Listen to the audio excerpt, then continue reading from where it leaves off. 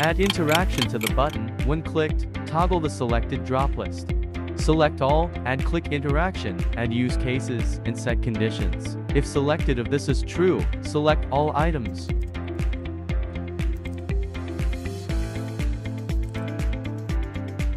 Copy and paste conditions, change true to false, and unselect all items. Select item 1, add selected interaction, add use cases, set conditions, and set all items to true.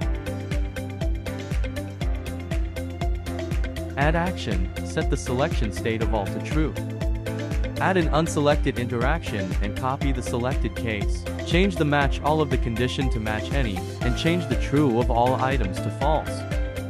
Then copy the interaction of item 1 to other items, preview the prototype, and when you select the checkbox, the corresponding checkboxes were selected.